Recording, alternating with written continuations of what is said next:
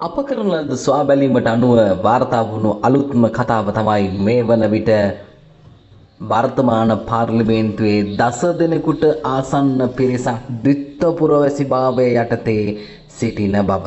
එසේනම් විසි දෙක සම්මත වීමත් සමග යම් අයෙකු විසින් මේක අධිකරණයේදී අභියෝගයට ලක්කරොත් ඔවුන්ගේ පාර්ලිමේන්තු මන්ත්‍රී දුර සම්බන්ධයෙන් එය යළිත් වතාවක් ඔවුන්ට මන්ත්‍රී දුර හැර යාමට සිදුවනු කරුණක් වනු නියතයි.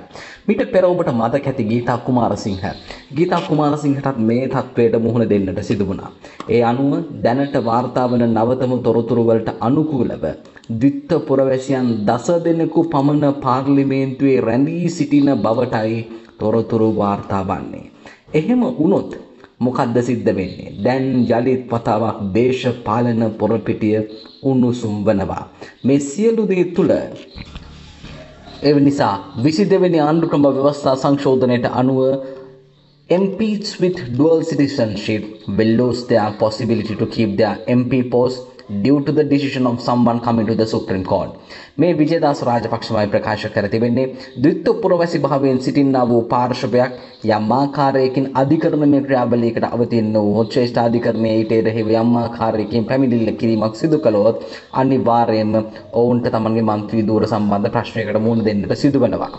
ඒ වගේම මෙන් ඉදිරියට පාර්ලිමේන්තු මන්ත්‍රී ධූර සඳහා තරඟ කිරීම පිළිබඳ ප්‍රශ්න සහගත තත්වයකට පැමිණෙනවා.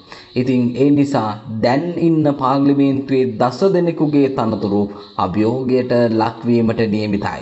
ඒකට හේතුව බවට පත්වන්නේ දිත්ත පුරවැසියන්ට වැට කඩුළු බඳින්නට මුළු දේශපාලන ධාරාවම එක හඬින් පෙනී සිටීමයි.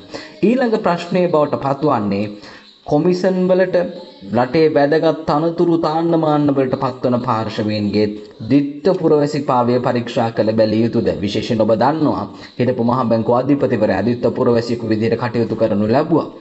ඇතමුන් කෙනෙකුට ලංකාවේ පුරවැසි භාවයක් නැහැ කියන කාරණේ. ඒ නිසා ඒ තත්ත්වය පිළිබඳ යළිත් වතාවක් විමසා බැලිය යුතුයි. කොමිෂන් සභා ඉතාමත් වැදගත් තනතුරු තාණ්ඩමාන වලට පත්වන පාර්ශවයන්ගේ ද්විත පුරවැසි භාවය පිළිබඳවද අවධානය යොමු කළ යුතු වනවා.